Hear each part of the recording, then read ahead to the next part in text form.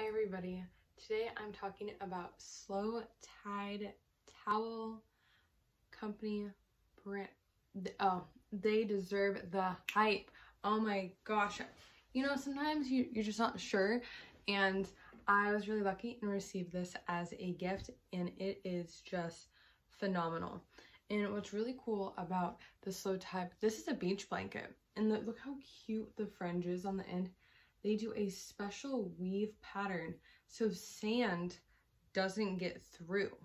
Like I took it to the beach and there wasn't like any sand coming up through the towel to shake it off. Like none of the sand gets stuck inside either. It was so easy. It was really amazing. And this is such a great size. You're able to get three people across this way. And let's see if I can do this. Let's see if there's room for this. Whoa. Kinda. You get the gist, right?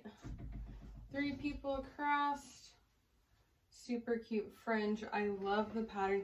And they work with artists for all the different colors and patterns and styles. And they are just beautifully done.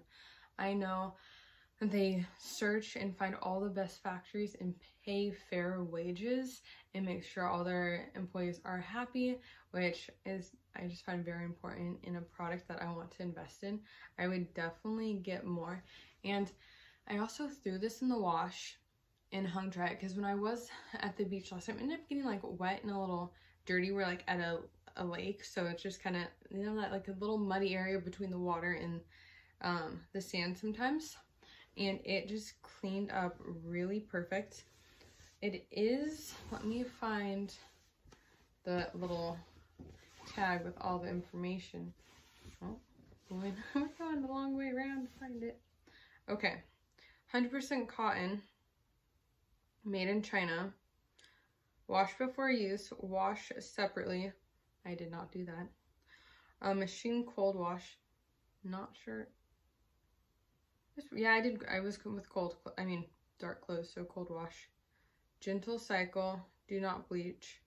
Tumble dry low. Oh, you can tumble dry it on low. I seriously just hung it dry and it it was dry so fast, which is amazing. And I'm sure that was part of what they were looking for. The three guys who made this brand left their corporate jobs and I believe they spent a lot of time in California and Hawaii. I'm not sure where they're from exactly, but they just wanted something better and they made it. It's so great. Like really go check out their website. A ton of like fun stuff. They're a little bit more expensive than what you would buy at Target, but I mean, you're supporting someone's art. This is amazing and it takes away a lot of the mess and you're not bringing half the beach home with you in the car or when you're trying to shake your towel off and you get the person next to you and get sand in their eyes, that's not happening either. And I love that you can fit three people across or you can totally cuddle up with it like up around like a bonfire or just I feel like even a throw in your house, especially if you have some beachy vibes or and you want to bring some color in as well. Just it's just so cute. I'm so, so happy I got to try one of these out. And I definitely feel like I would purchase more in the future.